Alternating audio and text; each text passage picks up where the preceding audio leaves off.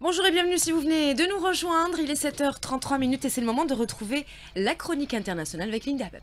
Linda, bonjour. Bonjour. On revient sur la visite de Joe Biden au Vietnam, officiellement pour renforcer les relations commerciales, mais sur fond de guerre commerciale avec la Chine. Joe Biden a fait un crochet par le Vietnam pour annoncer une ère de coopération encore plus grande avec son allié asiatique. Cette visite a des allures de pied de nez à Pékin, même si le président américain s'est défendu de vouloir isoler son rival commercial. Dans ce contexte, les États-Unis exaltent la capacité du Vietnam à jouer un rôle essentiel pour monter des chaînes d'approvisionnement de semi-conducteurs robustes, autrement dit, moins dépendantes de la Chine.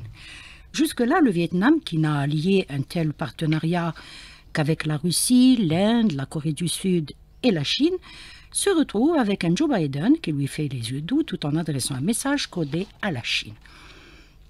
Le président américain, qui passe son temps à reprocher à la Chine ses prétendues violations des droits de l'homme, s'est bien abstenu de reprocher quoi que ce soit à Hanoï. Biden sait que le Vietnam partage les inquiétudes des États-Unis concernant les revendications de Pékin en mer de Chine méridionale, une région où Hanoï a également des revendications concurrentes.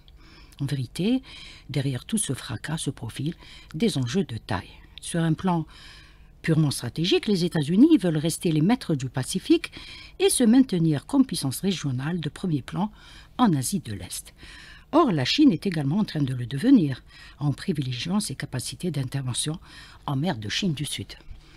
En même temps, Pékin refuse tout affrontement avec l'Amérique et préfère poursuivre trois axes d'effort le maintien de la stabilité en Asie orientale, la pérennisation des investissements des pays riches et le développement du leadership économique chinois en Asie orientale. La stratégie des États-Unis contre la Chine se décompose, elle, suivant quatre objectifs principaux contrôler le besoin en énergie de l'adversaire, l'encercler par un réseau d'alliances, neutraliser sa capacité de menace nucléaire et affaiblir sa géopolitique et son unité politique intérieure. Washington veut également contrôler un maximum de gisements pétroliers en un minimum de temps. Une stratégie adoptée depuis la session de George Bush au pouvoir. C'est ainsi que l'éclairage apporté d'un côté par l'imminence du déclin de la production pétrolière et de l'autre côté le besoin de contrer la progression de la Chine, nous montre que l'intérêt américain pour l'or noir va bien au-delà des seuls gains financiers. Merci beaucoup, Linda Babsa. 7h35 minutes.